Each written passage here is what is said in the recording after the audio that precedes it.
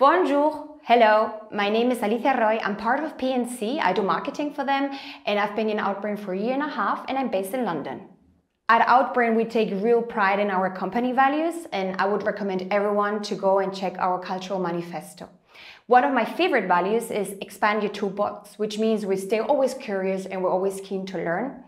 Another value I really love is the one about trust. We're really like a family, we work together, we trust each other, and that's something that's been really important to me when I applied for the job and something I've really experienced when joining the company. And actually, as we're talking about values and transparency, I recommend everyone to go to Glassdoor and check the anonymous reviews to have a real feeling of what it is to be part of this great organization.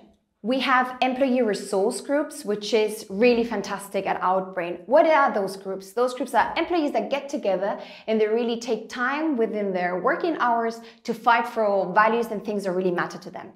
We have the OB Green, which I'm really proud to be part of. We have planted some trees in our OB forest earlier this year.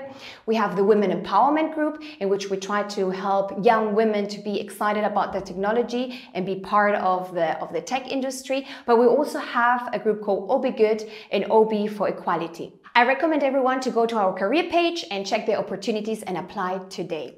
Outbrain is really a fantastic place to work and what makes Outbrain great is the people. I could be talking hours about development and expanding the toolbox and checkings and traveling, but actually it's our colleagues, the culture that we have, the collaboration, it's the Outbrainers who make Outbrain so fantastic. So go ahead and apply today.